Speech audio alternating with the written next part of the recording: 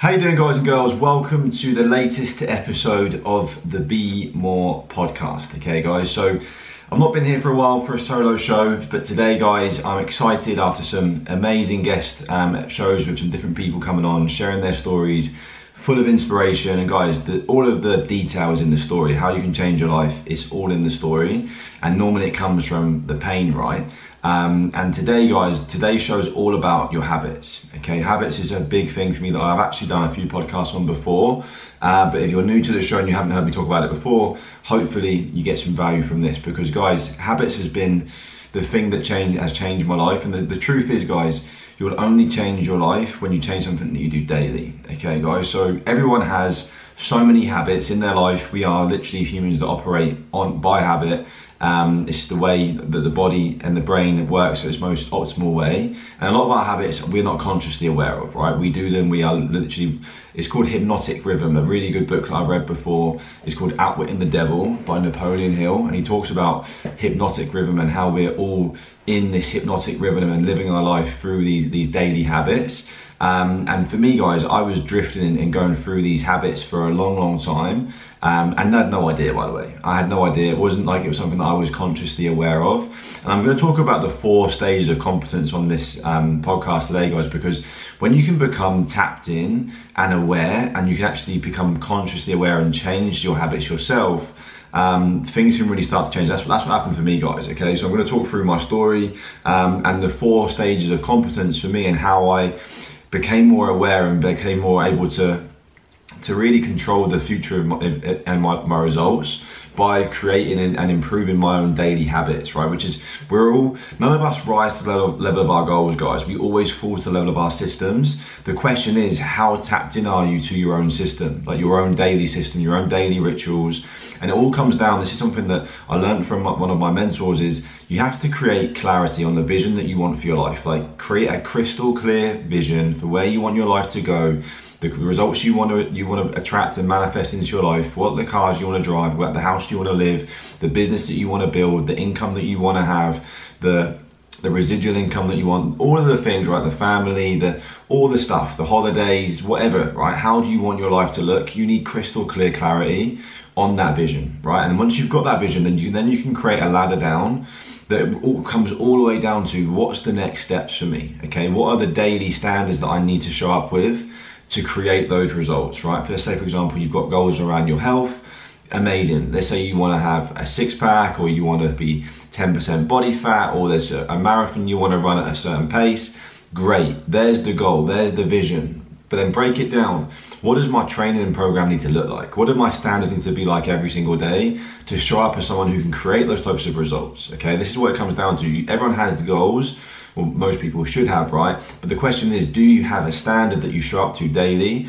And this is where your habits come into play because you can create your habits and your habits will then create your future. Okay, guys? So let me ask you guys, like, what are your habits for your health? What are your habits for your nutrition? What are your habits for your exercise? What are your habits for your daily step count? Like, these are things that I became, this is my first real introduction to habits was in the gym, okay? Because it was something that I was passionate about, something that I really was enjoying doing. Um, so when I was 15, I started going to the gym and I loved it, right? And I, I was at first, by the way, there's four stages of competence. Let me go into this first.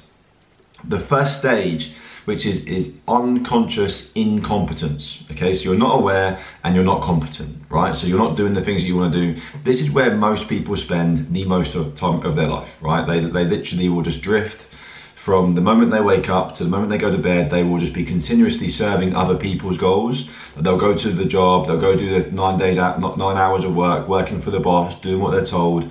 They'll then go home, the missus will do as they tell them to do, the kids will run them ragged, and then they get to bed, right? They didn't achieve anything for themselves in that day, they were just serving other people, right? Which is fine, which is sometimes we have to do those things. But there's also a time in the day where you can uh, where you can make sure that you're doing things for you to move yourself forward for your goals because that's really important as a let's say you're a dad as a leader as someone who shows up you need to be setting the example right? Um, so that's stage one unconscious unconscious incompetence right? Which is a stage to get out of as soon as you can right? Next is conscious incompetence. So you create some awareness around your incompetence. You create some awareness and go hmm this, this is how I'm living my life right now. Okay, so for example, we sit down with people every single day and we ask them about their nutrition habits, right? What do you eat a day? How are you feeling? Ask them the questions, right? What are you spending? Is it getting you the results that you want? And most people, when they have this kind of um, evaluation, this kind of question, they go, they become a con- they become conscious of their incompetence. They go, okay, I'm eating this, then I'm eating this and then I'm buying this meal deal, and then I'm buying this. I'm spending probably fifteen pound a day. I'm not getting the results that I want, and then they go, shit, that's like a lot of money, right? And I'm not getting the results that I want. Maybe I need to change things, right? Because for things to change, I need to change, right? So this is a, a, key area to get dissatisfaction in that incompetence by becoming aware of it, okay?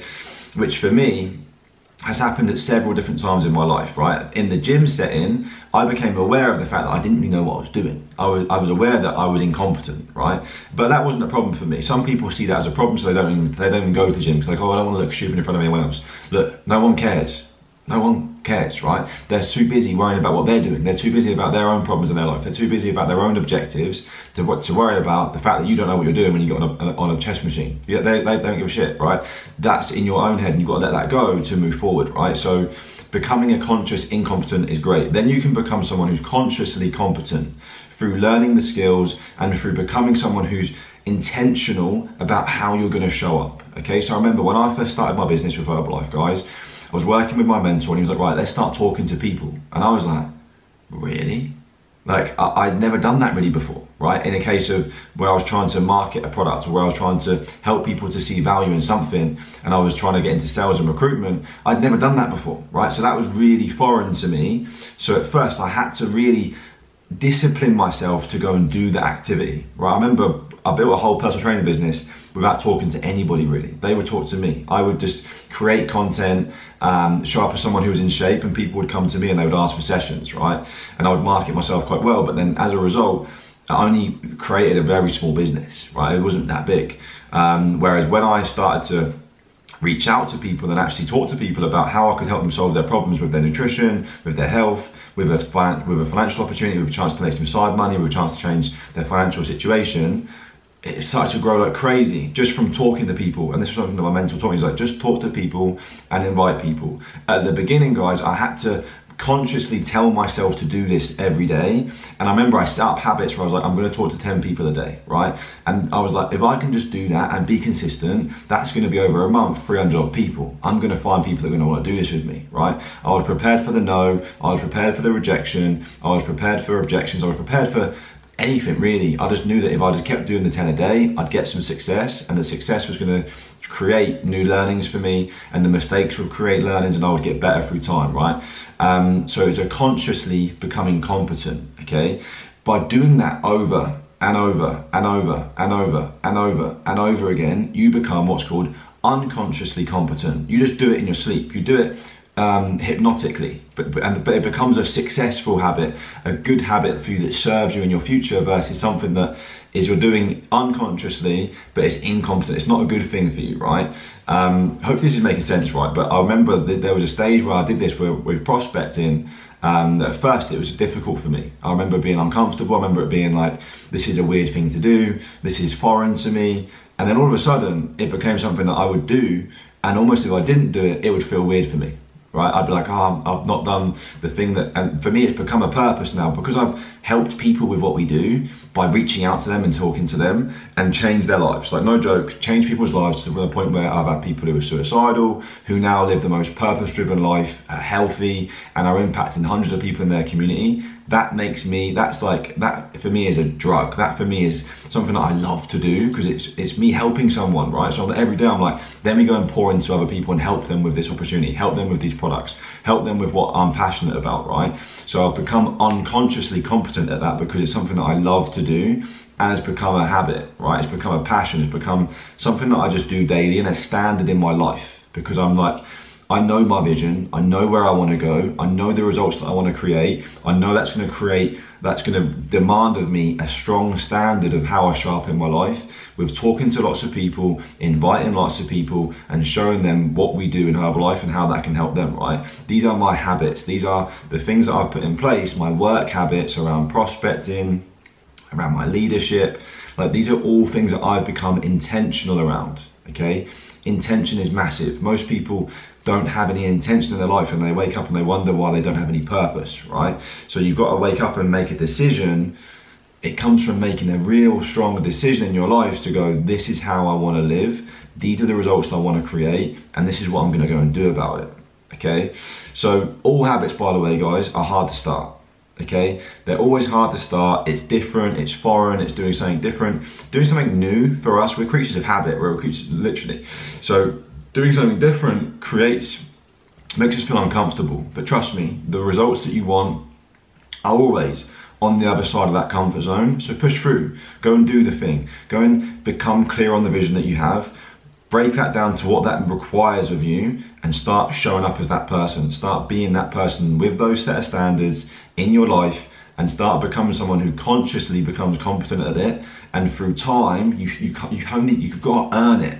You've got to earn your way to an unconscious competent through time, through showing up, through discipline, through sacrifice, through someone who does more than they get that is willing to do more than they get paid for and do it over and over and over again but through time if you're in the right vehicle you will then become paid way more than what you do right because that's the beauty of, of building a business that offers leverage like network marketing okay guys so that this is like something that's really really key and i'm, I'm going to keep this short because i know i've given you guys a lot of information there but make sure you guys have uh, an intention around your habits when it comes to your goals. Okay, show me your goals, great, but show me your system. Show me your daily system, your daily standards for how you're going to move the needle from where you are to where you want to be.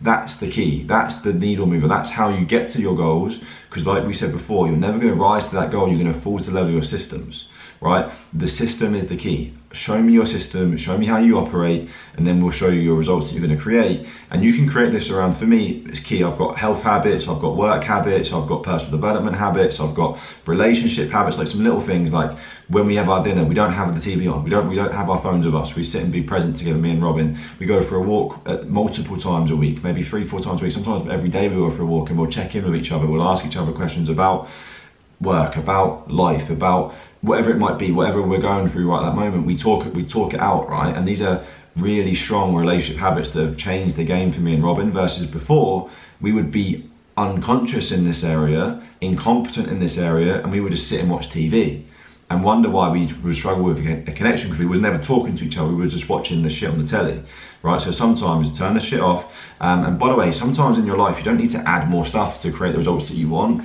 It's more a case of subtracting things from your life. It's taking things away that are not serving you, that are distractions.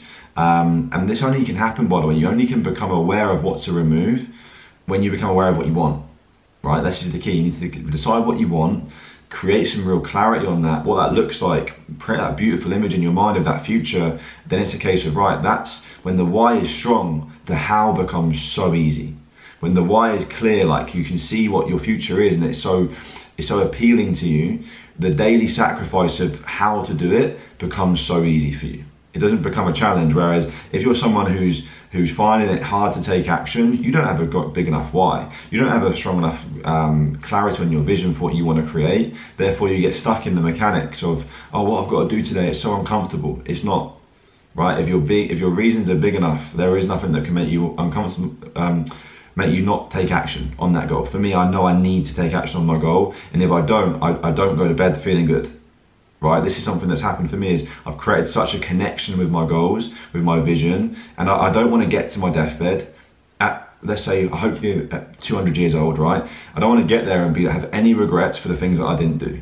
Right, that, that for me is really connecting to that feeling when I'm on my deathbed and my, my family are around me and they're looking at me. I want them to be so proud that I did everything that I could to go and do the things that I want in, in this short time in my life because life is so short, right? And we, most people are living it like they're going to live forever, right? Whereas we're not. Um, so therefore, who cares what someone thinks? You're going to get, you're going to find that moment comes real soon. You're going to be on that deathbed in your last moments, and you're going to think to yourself, "Why did I give a shit what Dave from the pub would think about what I'm going to go and do?" Um, and, and, and some people are paralyzed by that, and they, they they live a miserable life because they're worried about what someone might think if they go and do something different to what that person and what that person's standards are. Who cares what their standards are? You don't want their life. If you don't want to trade lives with them, don't worry about what they think, right? So, guys, habits, hard to start, but they're worth it. They are so worth it and they are key for your long term success. So start really becoming aware and developing your system for success, your system to move forward and achieve your goals. It all starts with that vision. Then you need to create your standards. Then you need to see it through and you need to be disciplined and you need to show up for yourself and do it over and over and over again when no one is watching, when you don't feel like doing it. That's the time to show up. That's the time to win. That's the time for you to take ownership of those daily activities. And through time, guys, you're going to start to achieve incredible results, and everyone's going to be asking what you're doing, right? Everyone's going, to, and you're then going to have the ability to help them too. You can heal yourself from your journey, help you, and then help other people do the same. Because, guys, we're living in a world right now where people need help, people need guidance, people need leadership, people need someone who can grab a hold of them and show them a better way. And we, we guys can do that through becoming getting clarity on what we want and then showing up as someone who is disciplined in doing the daily disciplines that are needed the non-negotiables I like to call it to move forward. Okay guys? So hopefully that's added some value for you guys around habits show me your habits and I'll show you your future okay guys so get clear on it get a pen out take a, a, sheet of paper and really start to get real clear on this write it down the power of the pen is so so so valuable um, and let me know how you find this activity guys because I'm doing these podcasts hopefully to add some value to you guys and let us know what you think. This is going to be streamed into, onto YouTube as well if you prefer to watch, uh, but also goes onto my podcast. I really would appreciate any sort of feedback um, on the show, whether it be leaving us a five star or dropping a comment in, in the YouTube or whatever it might be. Uh, but as always, I really appreciate you guys and thanks as always for listening. We'll be back soon with the next episode of the show.